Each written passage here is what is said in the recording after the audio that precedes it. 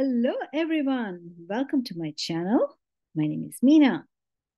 I do some tech videos, some tutorials, Java, Rust, and the whole nine yards. All right, today we are going to talk about the latest entrant in the AI race or in the AI world.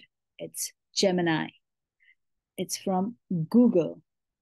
What it is, let me tell you in a short video what's this AI about. Gemini is a cutting edge multimodal AI model announced by Google on December 6th, just yesterday, if you're listening to the video today, but it was on December 6th. That's why it's the latest entrant, right? It's the most capable general purpose AI to date. Okay, it's a significant, significant leap forward in the AI technology. Generally, when you talk about AI models, you have large language models which work only on languages. Then you have uh, some models which are uh, mostly focusing on the image analysis, which is like the MNIST data set, which we use when we learn AI and all. This combines the best of both worlds. You can search on image combined with text. It's revolutionary. It's built that way.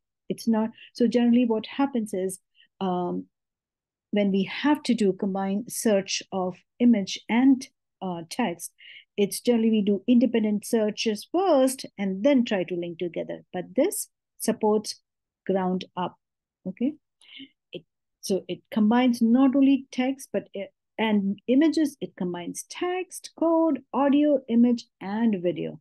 Imagine the capability. Comes in three varieties. Ultra, the largest and the most capable for highly complex tasks. I wonder what the investment companies are going to do with this Ultra. They can afford this, right? Or maybe the or maybe NASA or those organizations which can afford the Ultra. Gemini Pro for scaling across wide range of tasks. This could be uh, all the mid to um, what do you call it? the Fortune 500 companies, the mid-level companies, many will go for the Pro.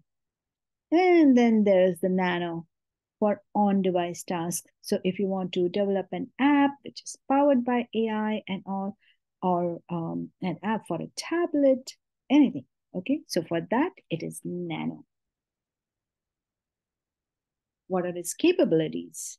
As I talked earlier, multimodality, right, understands and processes diverse forms of information. It understands text, images, video, audio, and even emojis, right? Imagine how you can how you can use it, right? Improved accuracy and fluency. So compared to the previous models, Gemini generates more natural and human-like text, which has more emotions, right? Okay. And what else? Its general purpose isn't limited to any specific purpose like image search or just uh, some uh, text. It's designed to be adaptable and versatile. Scalability, it's built to handle massive data volumes and process information efficiently across devices and platforms, from smartphones to data centers. Imagine the scalability, right? Usability. With its advanced, what are the different applications where you can use? These are just, what do you call um, a grain in a salt, in a pile of salt, right? It's just a grain in a pile of salt.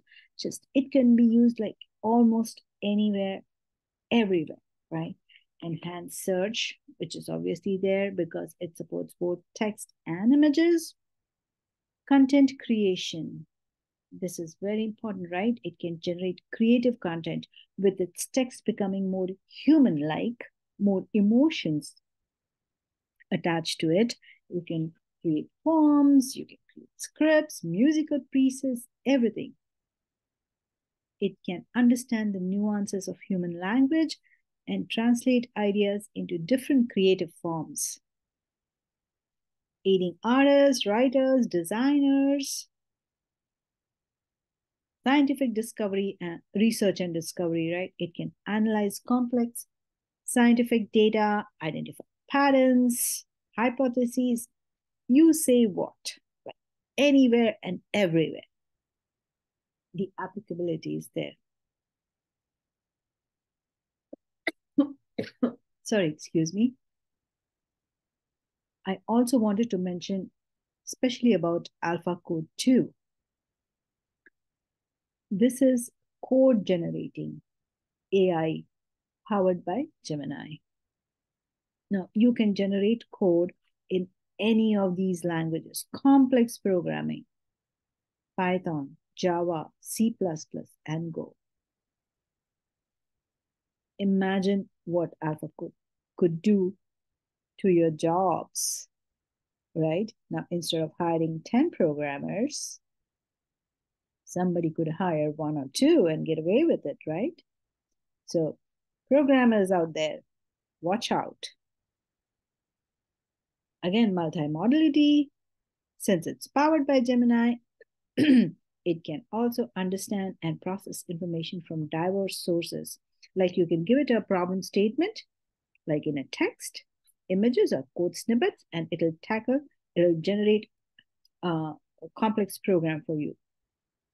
I'm going to show you just one example with AlphaCode, not AlphaCode 2, but alpha code. okay, AlphaCode 2 demonstrates significantly better performance and has outscored estimate 85% of competitors. Oh my goodness.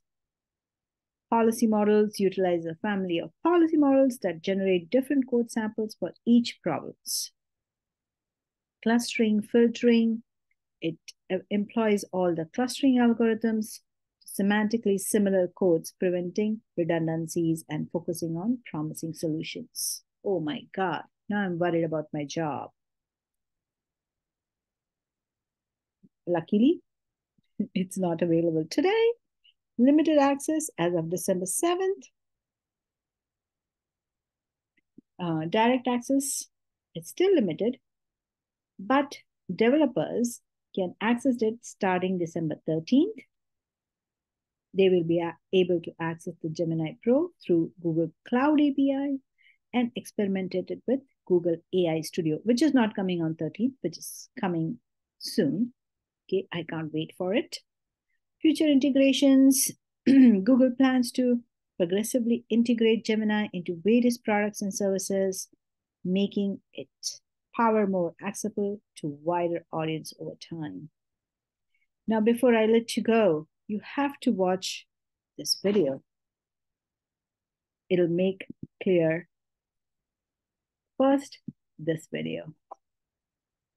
If I were to look at the foundational breakthroughs in AI over the past decade, Google has been at the forefront of many of those breakthroughs. Gemini is our largest and most capable model. It means that Gemini can understand the world around us in the way that we do. So, not just text, but also code, audio, image, and video. Taylor used Gemini to search a large corpus of scientific papers for key information. We wrote a prompt. With its advanced reasoning capabilities, Gemini was able to distinguish between papers that were relevant to the study and those that weren't. I'm delighted to introduce AlphaCode 2, powered by Gemini.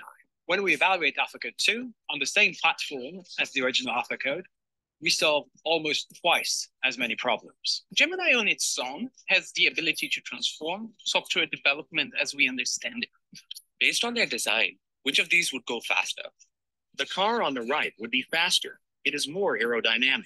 But safety and responsibility has to be built in from the beginning. And that has oriented us to be both bold and responsible together. Developers and enterprise customers are going to figure out really creative ways to further refine our foundational models. Gemini will be available in three sizes. Gemini Ultra, our most capable and largest model for highly complex tasks. Gemini Pro, our best performing model for a broad range of tasks. And Gemini Nano, our most efficient model for on-device tasks. It's been a monumental engineering task, which has been, you know, very challenging, but also very exciting.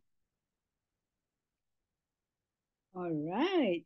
That was it about We built Gemini. Gemini from the ground up to be natively multimodal, including It's something quite important for both of us programming code.